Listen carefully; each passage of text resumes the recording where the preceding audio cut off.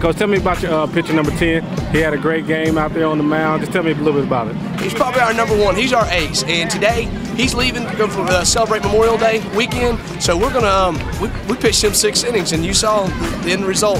He's our movement on the ball, and, and all these teams have seen him right now. They all know he's usually we, when we're in the finals or we make it to the finals, we pitch him. But today we only get one game out of him, so we took him six six innings. Uh, congratulations, Coach. Move to the next round. Thank you, guys.